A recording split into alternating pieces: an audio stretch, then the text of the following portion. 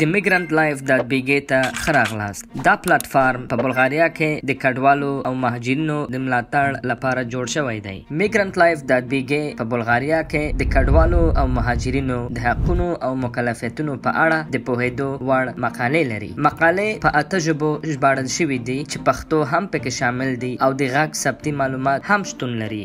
زموږ د خدماتو په نقشه کې به تاسو په بلغاریا کې د مختلفو خدماتو چمتو کوونکو اړیکې ومومئ لکه روغتونونه، وکیلان، د ژبې زده کړې مرکزونه او نور. که تاسو هغه څه ونه موندئ چې تاسو یې په لټه کې یاست، زموږ ټیم کولای شي چې تاسو سره د ژوندۍ د چت د لارې مرسته وکړي چیرې چې تاسو موږ ته لیکلی شئ. د میګرانت لایف ډاټ بي ګي ویب پاڼې له لارې تاسو کولای شئ د وړیا توګه قانوني د مرستو لپاره انلاین غوښتنه وکړئ. د مرستې غوښتنه، د دې فورمې له لارې کډوال او مهاجرین کولای شي چې حقوقي مشورې او لارښوونې د یو وکیل چې د پناه غوښتونکو او مهاجرت قانون په بلغاریا کې تخصص ولري د انلاین له لارې غوښتنه وکړي. فورمه په نهه ژبو کې شتون لري، تاسو کولای شئ د پورتنۍ بخش څخه خپله غوره ژبه وټاکئ. دا فورمه په مختلفو وسیلو کې د کارولو لپاره تطبیق شوی او خورا لنډه ده او ډکول یې څو دقیقې وخت نیسي. ډاټ ترلاسه کړئ چې ستاسو د تلیفون شمیره او بریښنالیک ادرس سم وي تر څو موږ وکولای شو تاسو سره اړیکه ونیسو.